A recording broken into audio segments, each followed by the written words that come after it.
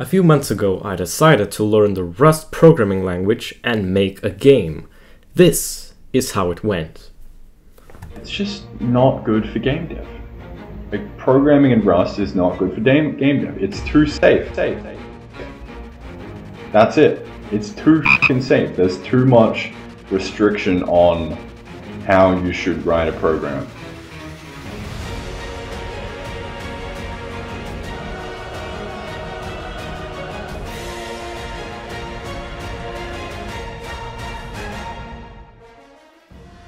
So how did we get to this point?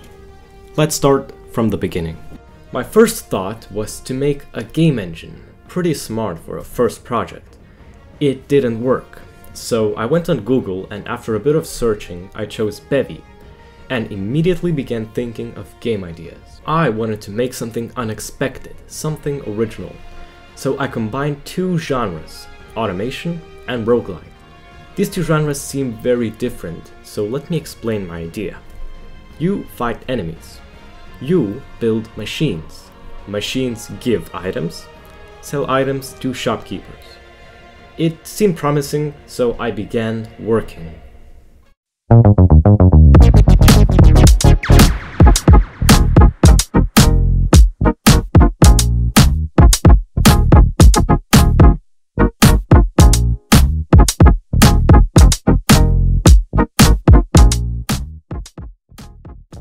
This was the result.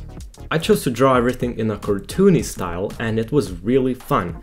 Spoiler, it wasn't. I switched to pixel art.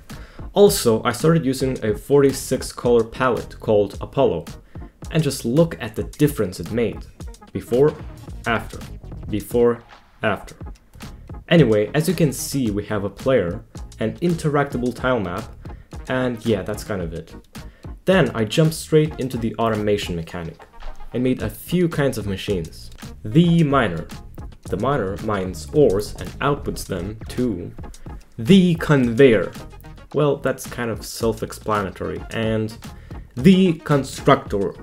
This guy can take in items and convert them to other items.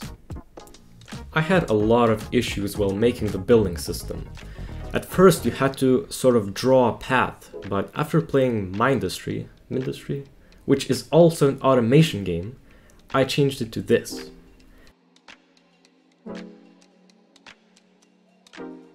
Also, due to a lack of experience in Rust and Bevy, the code was becoming an absolute spaghetti mess.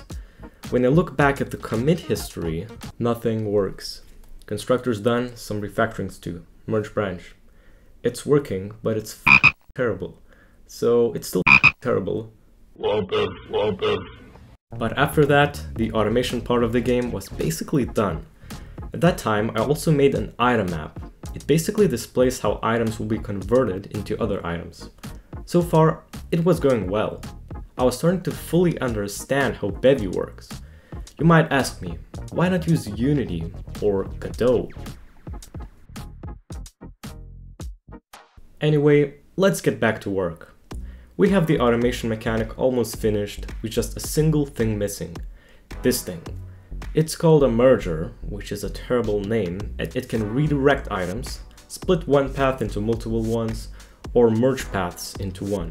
It's great. During testing, I found a little bug.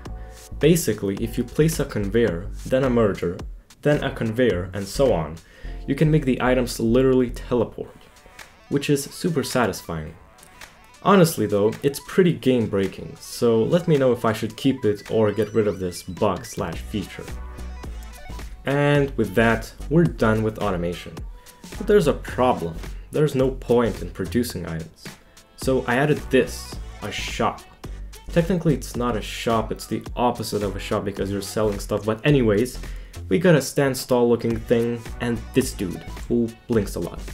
And on the left, we have this thing.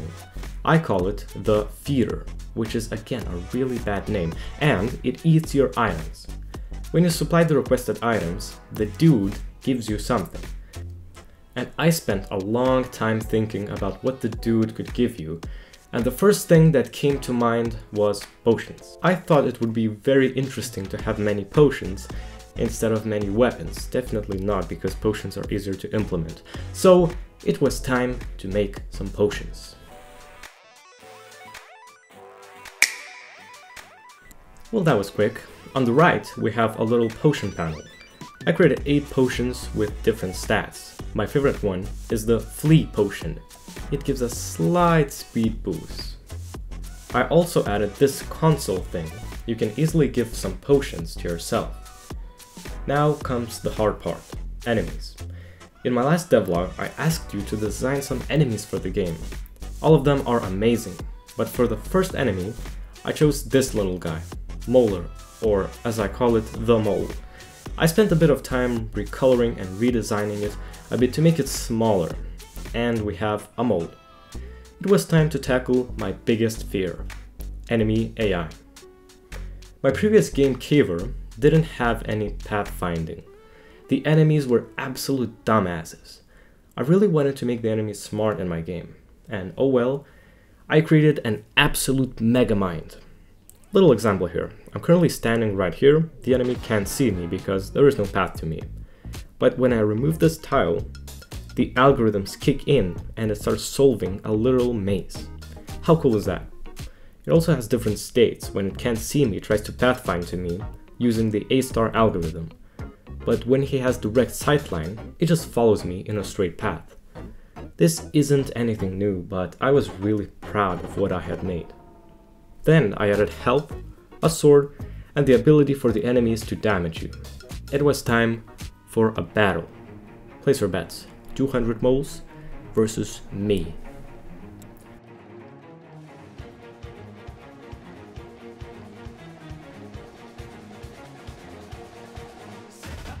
Oh. Oh. Oh no no no no no no no no no no. Okay, I have these speed potions, so just in case something bad happens, oop, I can just oop, and then okay. Actually, why can't I just do that? Doesn't that work? Oh, it doesn't. I think I've killed like I don't know, forty. There's one guy. Oh no! Okay, this is bad. Oh. Well, we're dead.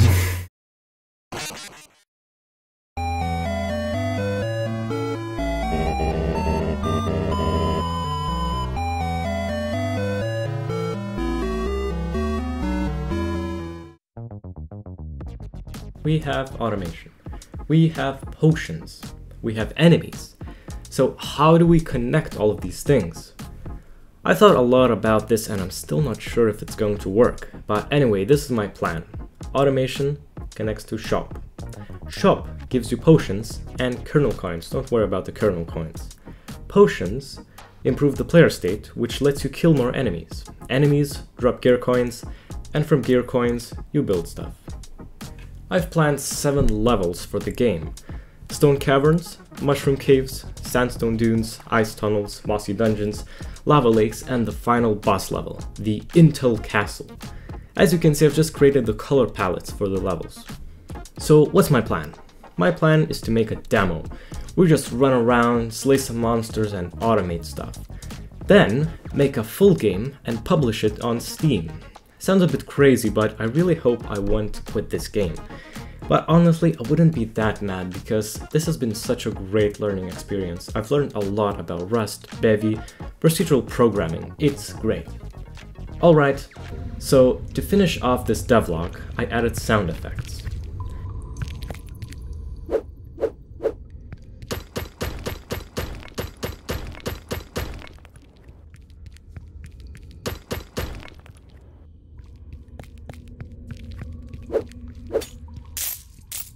and also a placeholder main menu.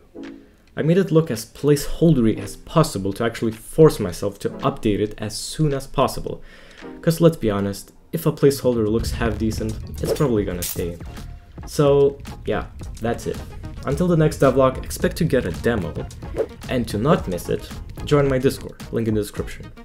Also, just a clarification, you can still post the enemies in the Your Enemies channel.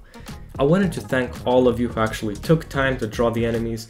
Some of them are absolutely amazing.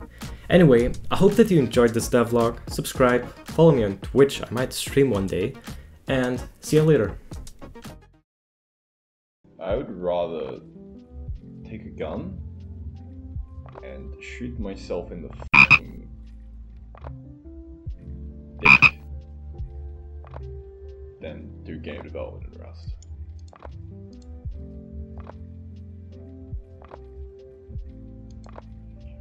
Trying to think, like, what would be more painful? Me shooting my own dick off or just, like, dead, right? And I think shooting my dick off would be more painful because then you'd have to live without a dick. So I would say I'd rather shoot my own dick off than do game development in Rust.